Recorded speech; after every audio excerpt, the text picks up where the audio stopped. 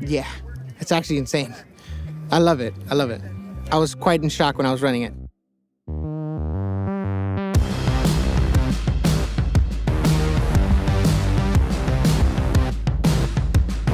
I mean, it's just a whole different level now with electrical machines.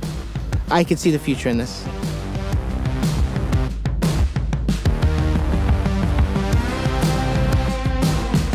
I'm Joel Honeyman, and I'm here in California with our team showing off the latest electric equipment from Bobcat, including the world's first all electric compact track loader, the Bobcat T7X. We've received a lot of positive interest in these products. And what I tell people and customers and anyone out there, you have to experience electric equipment to really appreciate and understand it. You have to sit in the machine, you got to try it out, and every reaction's the same. You know, people get out of the machines here today and they're like, I couldn't believe that that machine performed like it did.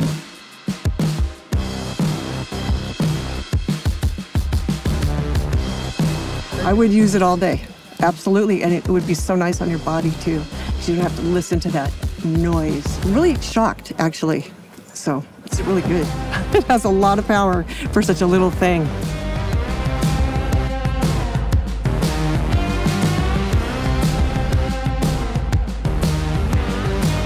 Yeah, it's impressive. It's nice to see the industry moving this way, especially with the zero emissions. We do a lot of seismic retrofitting, TI work where we're inside confined spaces and buildings, chipping out concrete and, and adding concrete. So it's nice because we don't have to have forced air systems in there. So as far as workers' safety for emissions and, and the control of that, that, that can be implemented right away. So that's pretty impressive.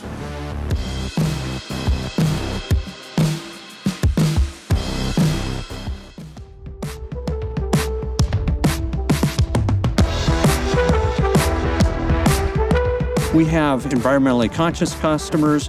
We have customers that want to experience this type of a product. It's where we're going to bring out more models and more platforms of EV equipment in the next several years. I work for the City of Los Angeles Department of Water and Power. I'm an equipment specialist, and my job is to purchase equipment for work crews. We do a lot of work in uh, you know the city areas, so when we got a crew out doing work and making all kinds of racket. It's a little annoying. That's a good benefit. And we're super excited to release these electrified products into our fleet.